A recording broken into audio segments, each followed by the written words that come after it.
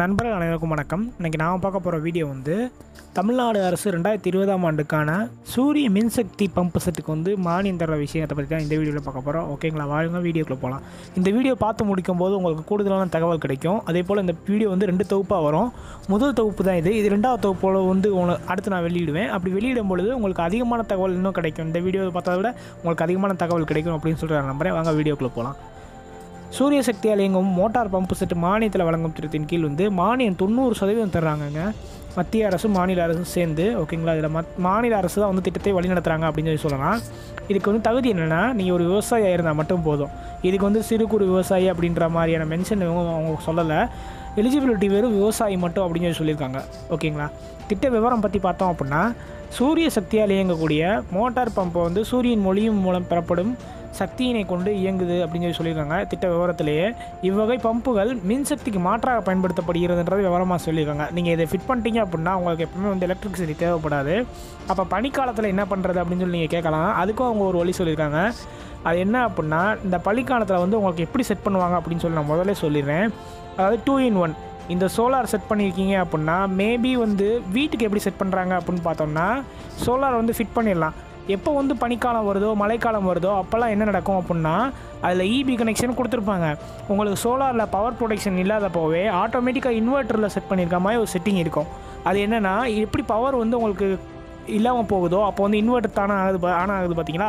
அந்த மாதிரி உங்களுக்கு சோலாரில் இருந்து பவர் இல்லாத போது தானாலவே வந்து அது எலக்ட்ரிசிட்டி கன்வெர்ட் ஆகி உங்களுக்கு வீட்டுக்கு பவர் கொடுக்கும். அதே மாதிரி தான் வந்து இதுலேயும் சொல்லியிருக்காங்க.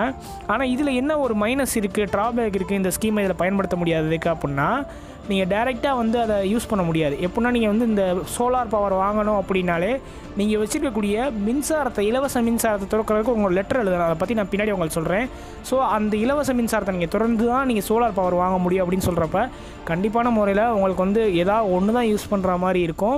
ஸோ நீங்கள் எது வாங்கணுன்றதை நீங்கள் தான் டிசைட் பண்ணணும். அடுத்து வந்து பார்த்தோம் அப்படின்னா இது வந்து அஞ்சுலேருந்து பத்து ஹெச்பி திறன் கொண்ட ஏசி மோட்டார் பம்புகளை இயக்கிறதுக்கு வந்து மேக்ஸிமம் யூஸ் பண்ணுறாங்க அப்படின்னு சொல்லி சொல்கிறாங்க அக்ரிகல்ச்சரில் ஓகேங்களா? ஆழ்துளை கிணறுகள் அமைக்கும் சோலார் பேனல் பற்றி மானிய விவரம் பற்றி பார்த்தோம் அப்படின்னா அஞ்சு ஹெச்பி குதிரைத்திறன் உள்ள எழுபது மீட்டர் ஆழம் வரைக்கும் யூஸ் பண்ணக்கூடிய solar pump with motor pump செட்டுக்கு வந்து விலை எவ்வளோ அப்படின்னு சொல்லிட்டு பார்த்தீங்க அப்படின்னா மூணு லட்சத்தி பதினேழாயிரத்தி இரநூறுபா வந்து மான் அதாவது மானியமாக தர்றாங்க. ஓகேங்களா? இதில் வந்து ரெண்டு லட்சத்தி எண்பத்தஞ்சாயிரத்தி நானூற்றி எண்பது ரூபா வந்து அரசு பங்கு மானியம். ஓகேங்களா? இதில் வந்து விவசாயி பங்கு வெறும் நாற்பத்தி ஏழாயிரத்தி ஐநூற்றி எண்பது ரூபா தான் அப்போனா உங்களுக்கே தெரிஞ்சிருக்கும் எவ்வளோ நமக்கு வந்து ப்ராஃபிட் இருக்குது அப்படின்னு சொல்லிட்டு. இதில் வந்து எப்படி அவங்களுக்கு மொத்தத்தையும் மூணு லட்சத்தி பதினேழாயிரத்தி இரநூறுவாய் மானியம் அப்படின்னு சொன்னேன்னா ஃபஸ்ட்டு பேமெண்ட் வந்து நீங்கள் ஃபுல்லாத்தையும் போட்டு நீங்கள் கட்டுற மாதிரி இருக்கும்.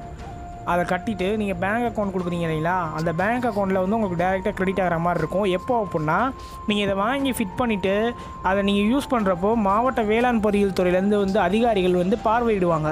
மேற்பார்வையிட்டு அதை உறுதி செஞ்சு நீங்கள் உபயோகப்படுத்துறீங்க. விவசாயத்துக்கு மட்டும்தான் உபயோகப்படுத்துறீங்கன்றதை உறுதி பண்ணிவிட்டு அதை உங்களுக்கு வரவு வைப்பாங்க. எதில் அப்படின்னா பேங்க் அக்கௌண்ட்டில் ஓகேங்களா?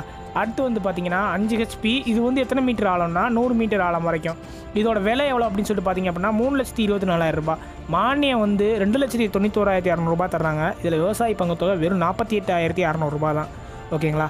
அதுக்கடுத்து ஏழரை ஹெச்பிக்கு வந்து நூறு மீட்டர் ஆழம் வரைக்கும் உள்ள அந்த சோலார் பம்ப் செட்டுக்கு வந்து விலை எவ்வளோ அப்படின்னு சொல்லிட்டு பார்த்தீங்கன்னா நாலு லட்சத்தி எண்பத்தொம்போதாயிரத்தி இரநூறுபா அதில் மானியம் அப்படி எவ்வளோ அப்படின்னு சொல்லிட்டு பார்த்தீங்கன்னா நாற்பத்தி நாலாயிரம் சாரி நாற்பத் நாலு லட்சத்தி நாற்பதாயிரத்தி இரநூத்தி எண்பது ரூபா அதில் விவசாய பங்குத்தொகை தொகை வெறும் எழுபத்தி மூணாயிரத்தி முந்நூற்றி எண்பது ரூபா தான்.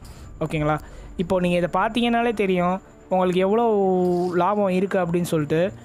அதாவது உங்களுக்கு நீங்கள் கட்ட வேண்டிய தொகை ரொம்ப ரொம்ப ரொம்ப கம்மியான அமௌண்ட்டு தான் இருக்கும். பேலன்ஸ் அமௌண்ட் எல்லாமே மேக்ஸிமம் அமௌண்ட் வந்து கவர்மெண்ட் தான் வந்து உங்களுக்கு பே பண்ணுறாங்க அதனால் ஈஸி தான்.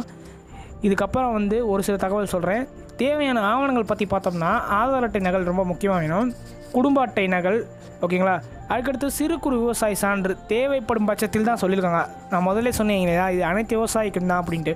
அப்புறம் எதுக்கு சிறு குறு விவசாய சான்றிதழ் கேட்குறாங்க அப்படின்னா ஒருவேளை வந்து சிறு குறு விவசாயிக்குன்னு வந்து தனியாக எதுவும் திட்டம் இருக்கலாம் நடைமுறையில். ஓகேங்களா? சிறு குறு விவசாயின்னு சொல்லும்போதே வந்து அவங்களுக்கு வந்து முழு மானியம் தருவதற்கான வாய்ப்பு இருக்கும் தொண்ணூறு சதவீதம் வரைக்கும். ஓகேங்களா? என்னுடைய கணிப்பு தான். அதை முழு முழுசாக தெரிஞ்சுட்டு நான் ஒரு வீடியோவாக சொல்கிறேன் அடுத்து பாஸ்போர்ட் சைஸ் ஃபோட்டோ அடுத்து நிலம் தொடர்பான ஆவணங்கள் வழக்கமாக பட்டா சிட்டா அடங்கல் கொடுப்போம் இல்லைங்களா? அது மாதிரி. அடுத்து தமிழ்நாடு மின் உற்பத்தி மற்றும் பகிர்மான கழகத்தின் பதிவு அட்டை நகல். நம்ம இபி பதிஞ்சு பில்லு கட்டுவோம்ல அந்த அட்டை. ஓகேங்களா? அடுத்து பார்த்தோம்னா நான் முதல்ல சொன்னேன் இல்லைங்களா? நீங்கள் சோலார் பேனல் வாங்கணும் இல்லைன்னா எலக்ட்ரிசிட்டியில் வச்சுருக்கக்கூடிய பவரை வந்து நீங்கள் டிஸ்கனெக்ட் பண்ணணும். இது ரெண்டில் ஏதாவது ஒன்று அப்படின்னு சொன்னீங்களா அது மாதிரி தான் இது.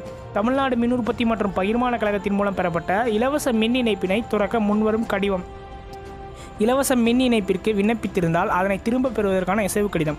ஒருவேளை நீங்கள் ஏற்கனவே பவர் சப்ளை வச்சுருக்கீங்க. இப்போ சோலாருக்கு மாறணும் அப்படின்னு ஐடியா பண்ணுறீங்க அப்படின்னா அந்த கரண்ட்டை வந்து நீங்கள் அந்த இலவச மின் இணைப்பை திறக்கணும் அப்படின்னு சொல்லிட்டு ஒரு லெட்டர் எழுதி கொடுக்கணும். யாருக்கு அப்படின்னா அந்த மின் பொறி மின் உற்பத்தி துறையில் இருக்கக்கூடிய பொறியாளருக்கு. ஓகேங்களா? அதுக்கடுத்து நீங்கள் ஒரு வேளை அப்ளை பண்ணியிருக்கீங்க இப்போ சோலார் வீடியோ பார்த்துட்டீங்க. ஒரு வேளை சோலார் ஃபிட் பண்ணலான்ற ஐடியாவில் இருக்கீங்க அப்படின்னா விண்ணப்பித்திருக்கிறத வந்து நீங்கள் ரத்து செய்வதற்கான இசைவு கடிதத்தை நீங்கள் அனுப்பணும். அந்த கடிதத்தையும் நீங்கள் இதோட இணைக்கணும். ஓகேங்களா? அதான் சொல்லியிருக்காங்க.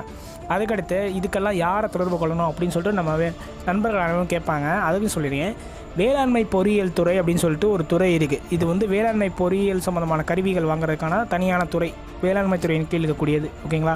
அந்தந்த மாவட்டத்தில் வந்து மாவட்ட வேளாண் பொறியியல் துறை அப்படின்னு சொல்லிட்டு ஒரு அலுவலகம் இருக்கும். இது ஓவராலாக அந்த ஆஃபீஸ்லாம் பார்த்தீங்க அப்படின்னா மாவட்டம் சம்மந்தமான எல்லா ஆஃபீஸுமே வந்து கலெக்டர் ஆஃபீஸ் இருக்கக்கூடிய பக்கங்களில் தான் அதிகமாக இருக்கும். அதனால் நீங்கள் எங்கேயும் தேடி அலைய வேணாம். கலெக்டர் ஆஃபீஸு இல்லை கார்ப்பரேஷன் ஆஃபீஸ் இருந்துச்சுன்னா அங்கே போய் நீங்கள் விசாரிச்சிங்கன்னா மாவட்ட வேளாண் பொறியியல் துறை அலுவலகம் எங்கே இருக்குது அப்படின்னு சொல்லிட்டு உங்களுக்கு தெல்ல தெளிவாக சொல்லிடுவாங்க. ஓகேங்களா? ஓகே இப்போ முக்கியமாக நான் உங்களுக்கு கூடுதல் விவரம் சொல்ல போகிறேன் இந்த விவரம் சொன்னதுக்கப்புறம் தான் நீங்கள் அடுத்த வீடியோ பார்க்கணுமா வேணாமான்றதே முடிவு பண்ணுவீங்க. என்ன அப்படின்னா எந்த வகை சூரிய தகடுகளை பொருத்தினால் லாபம் அதிகம்? அதாவது நிலையாக பொருத்தக்கூடிய சூரிய தகடுகளை வாங்கினா உங்களுக்கு லாபம் குறைவு அப்படின்னு தான் சொல்லணும். அப்போது வேறு எந்த வகை சூரிய தகடை பொறுத்துனா உங்களுக்கு வந்து லாபம் அதிகமாக இருக்கும் அப்படின்னு கேட்பீங்க. அதை நான் அடுத்த வீடியோவில் சொல்கிறேன் ஓகேங்களா? விவசாய நண்பர்கள் அனைவருக்கும் நன்றி. ஓகேங்களா? அந்த வீடியோவை ஷேர் பண்ணுங்கள் லைக் பண்ணுங்கள் மறக்காமல் நம்ம சேனலை சப்ஸ்கிரைப் பண்ணுங்கள் அடுத்த வீடியோக்காண்டி வெயிட் பண்ணுங்கள் நண்பா. நன்றி.